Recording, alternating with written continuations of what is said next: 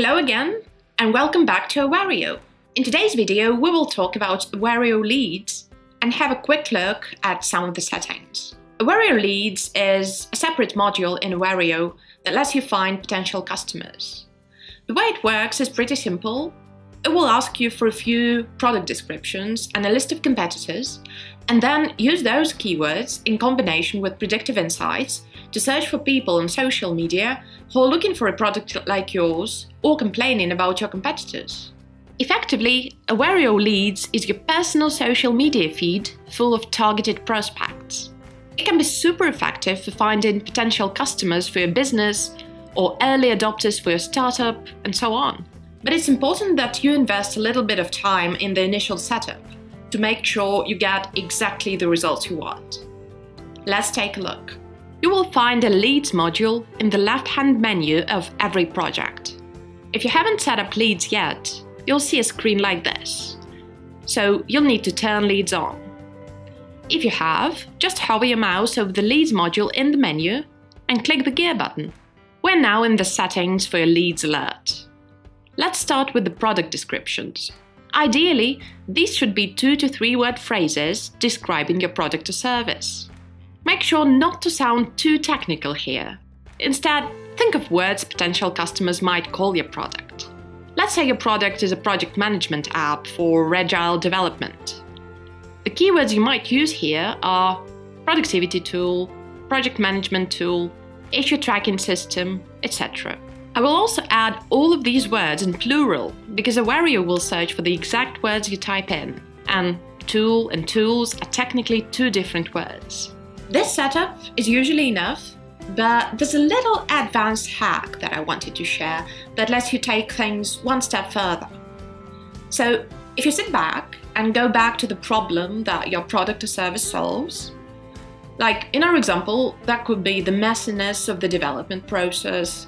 It could be certain problems like, you know, the number of bugs, missed deadlines, etc. It could be a lack of communication within the team, and so on. So if you think about your potential customer that who realizes that they've got this problem, you'll understand that initially they may not necessarily be looking for tools and apps to solve it. Initially, they're likely to ask for, you know, tips and advice and other people's project management routine, etc.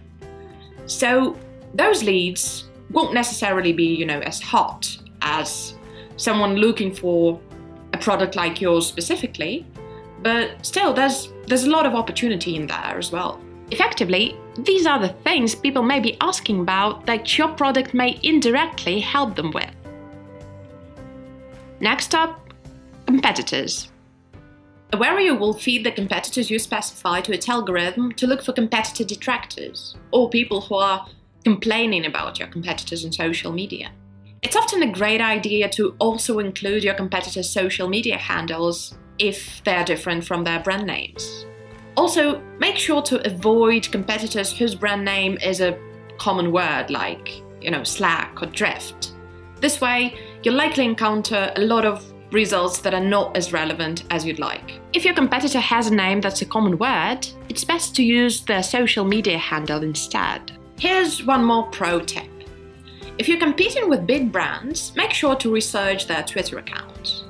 Quite often, they will have an official Twitter account a separate account that handles questions and support queries, and then often even separate accounts for different countries. Including these Twitter handles into the competitors field will give you even more relevant results. Negative keywords are used to exclude posts containing them from your feed.